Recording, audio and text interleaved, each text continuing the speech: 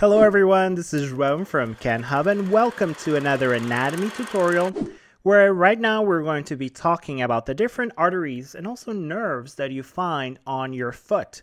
And right now on your screen we're looking at the plantar view of your foot where we can see on the left side the different arteries that we're going to be talking about on this tutorial as well as the different nerves that you see on the right side on the image of the right side.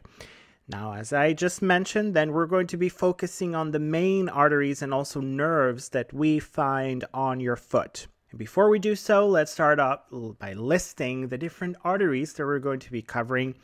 We're going to talk about the dorsal artery of the foot, the lateral and medial tarsal arteries, the arcuate artery, also the dorsal metatarsal arteries, the lateral and medial plantar arteries, the deep plantar arch, and finally, we're going to also be talking about the plantar metatarsal arteries.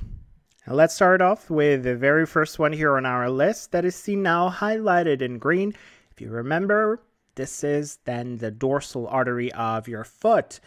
And the dorsal artery of the foot is then the continuation of this artery here, known as the anterior tibial artery, coming all the way from uh, the lower leg and the anterior tibial artery is the distal continuation of an important artery in the thigh and leg known as the femoral artery.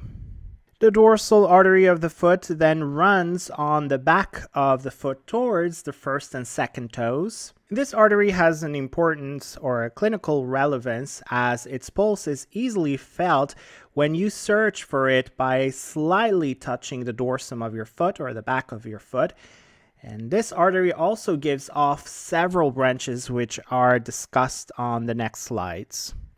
Next arteries that we're going to be talking about, they are seen here highlighted in green. On the image on the left side, we're looking at the lateral tarsal artery. And on the image on the right side, we're looking then at the medial tarsal arteries. And keep in mind that on these images, we're looking at the dorsum of the foot. This is not the plantar view or plantar side of your foot. These are two of the branches of the dorsal artery of the foot, the medial and the lateral tarsal arteries. And just for a bit of reference, we can see here that uh, this is the medial side of the foot since it's in the same direction as the big toe. And this part here is the lateral part of the toe of the foot as this is on the same direction as the little toe. And you notice here that these arteries are projecting either laterally, as you can see here, or medially, hence their names as well.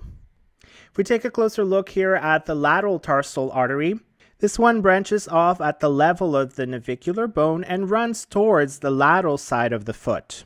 This video is not over yet. Continue watching now the full video at kenhub.com. We have lots more videos like this one available to our premium members on our website, not to mention all the fun quizzes, related articles, and atlas sections. So click on the button in the middle to watch the full-length video and master anatomy.